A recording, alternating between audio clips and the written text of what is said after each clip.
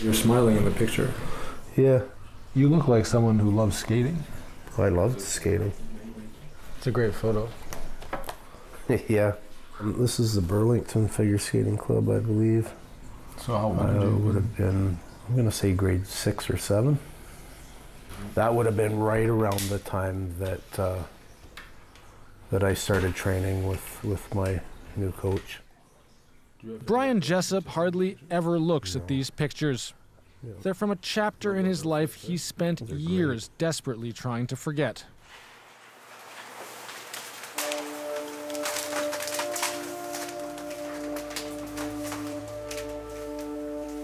It, it's hard. It's, it brings back a lot of memories. Jessup rarely comes here. In fact, it's been years since he's put on his skates. The abuse was just, that was normal to me.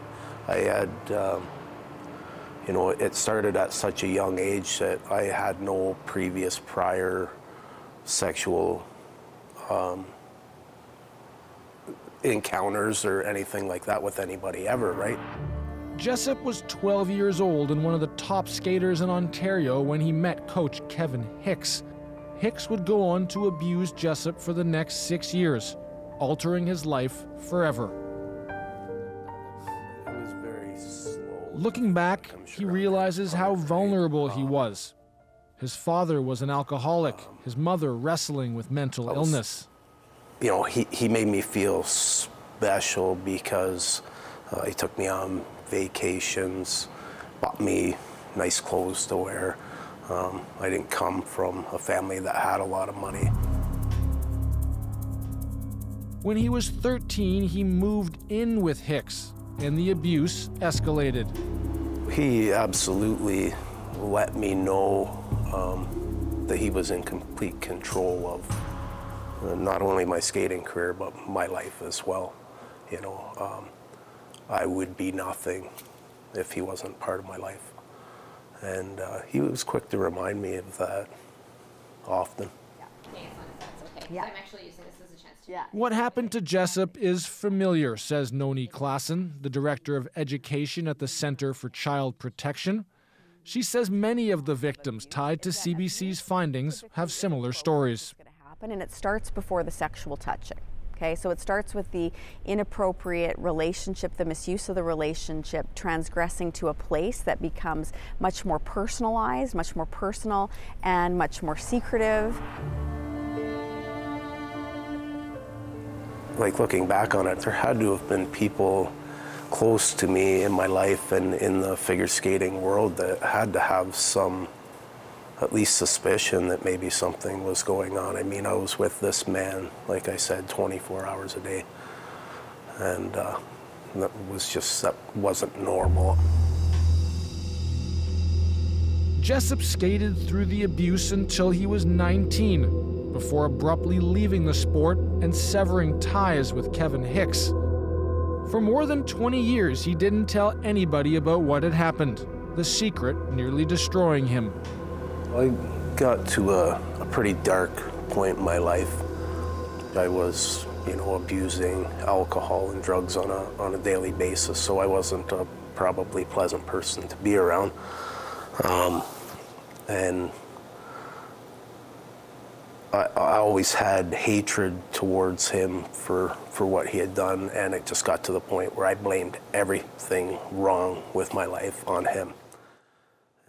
It took years before Jessup would tell police, which is a common thing for victims of childhood sexual abuse.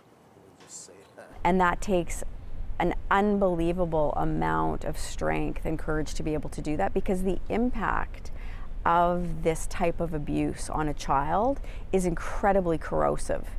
And that's that impact is something that extends with them throughout their life and it extends way beyond their time and experience in the sport. Kevin Hicks was convicted of sexually assaulting Jessup and another young skater whose name remains protected by a publication ban. Hicks was sentenced to four years in jail but released after less than a year. So it wasn't the justice I had initially was seeking. But it was very uh, empowering for me uh, to see him as a defendant in the court of law, and I was able to tell in detail actually what what pain and suffering he put me through. Jessup says talking about what happened to him is central to his recovery. Yeah, I look at these and I seem so young and innocent. He's sober, employed, and happily married. A large dining room table fills a room in his home, space for his large, supportive family. And for the first time in years, Jessup is talking freely about his past. Yeah, every kid wants to be great at something, right? And that's what I was great at. I believe in my mind um, that I could have been the best in the world.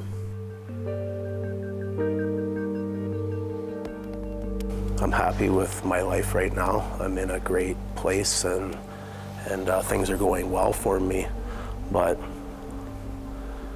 uh, it could have been a lot different, you know. Jamie Strashin, CBC News, St. Thomas. We expect the numbers our investigation revealed will prompt questions. So we're bringing together a panel of experts later this week to help answer them. Whether you're a parent, an athlete, coach, or a club administrator, we want to hear from you. And you can submit your questions about overcoming sexual offenses in amateur sport to the national at cbc.ca. Also, tomorrow, right here on the program, we're going to continue our series, Shattered Trust Amateur gymnastics in Canada has been rocked by criminal charges against coaches, but predators can be awfully hard to spot. You had told me that you did your background checks and all yeah, of that. Yeah, yeah, we did as much as we could as we normally did. There was no flags at all. It's just it got right by me. You know, like there was no no bone in my body that wanted to go look deeper into the problem because I thought I saw the the guy every single day and I trusted him. You thought you knew him. I thought I knew him. Yeah. It breaks my heart that there are kids who are hurting. Every sport should have challenges. Kids should learn resiliency. They need to be accountable. They need to be hardworking. All those things. That's what makes an athlete special. They, they don't need to be degraded. They don't need to be beaten down. They don't need to endure inappropriate behavior ever.